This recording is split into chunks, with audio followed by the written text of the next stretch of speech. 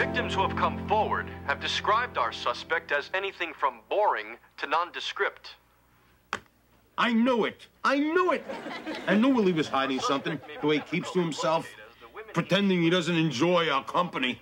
But I always thought if Willie was a criminal, he'd be one of those quiet sniper types. The state of Florida is offering a $10,000 reward for information leading to his capture. In Tallahassee, Do you Florida, really think it's Willie? Well, add up the clues. Look at the guy. Same weak chin, same high forehead, same slopey eyes. I take him back in Apparently, some women found it a noble chin, a classic forehead, and bedroom eyes. What are you starting to fall for him? No, honey. However, if he is the man they're looking for, he must have something women want.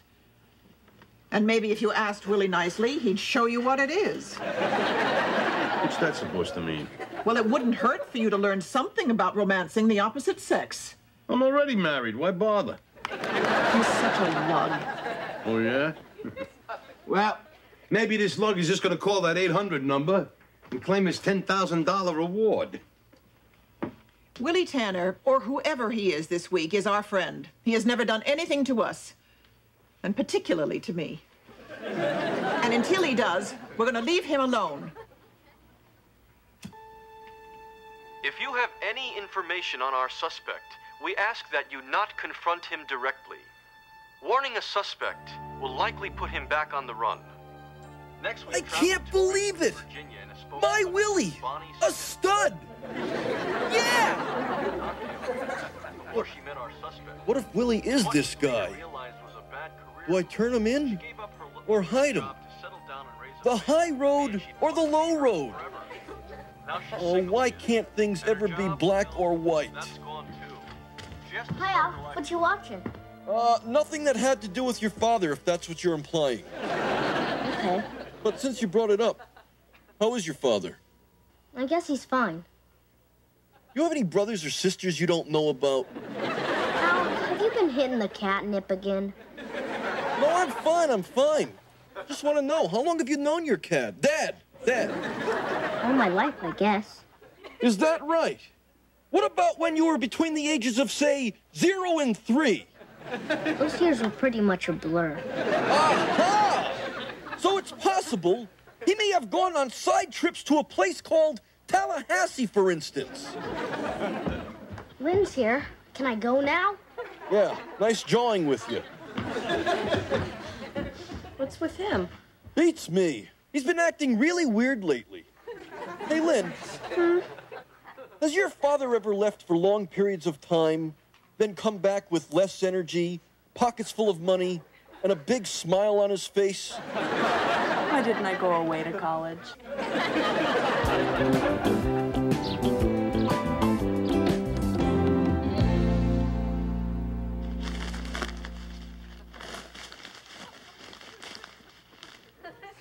Catching a few Z's? Not at the moment. Oh, well, since you're having trouble sleeping, have you ever thought about changing your appearance? No, I haven't. Go away.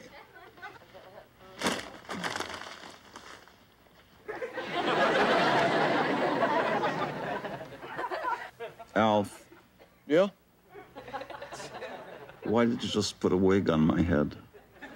Pretty natural, huh? Why are you doing this to me? You know what they say, Willie? It's the wig that makes the man. I'm not wearing a wig. Certainly not that one. Okay, then perhaps these glasses would enhance your already ruggedly handsome face. Alf! All right, then, try these.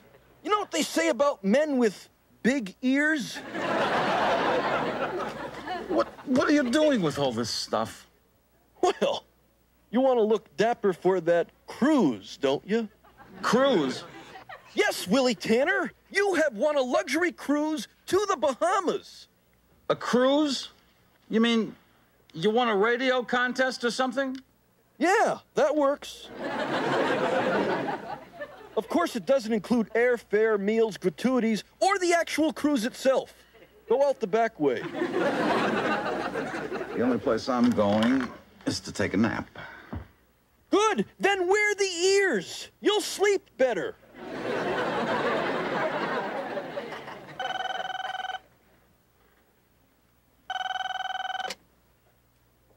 Hello? Willie? Uh, no. Willie doesn't live here anymore.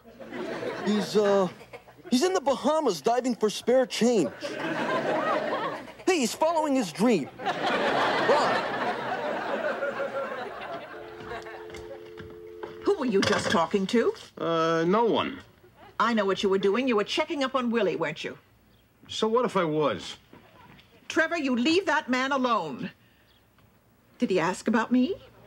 No. He disguised his voice and said he moved to the Bahamas. Raquel, the guy's guilty as sin. Well, then that means that he's guilty of. Ooh. That does it. What are you doing? You are not turning him in. Be strong, Raquel. Don't give in to your urges. You never have in the past. Then I refuse to be a party to this. The man committed a crime. We can't ignore our civic duty. And don't ask me to compromise my morals. Hello, Crime Stoppers? I hope you're ready to cough up 10 grand.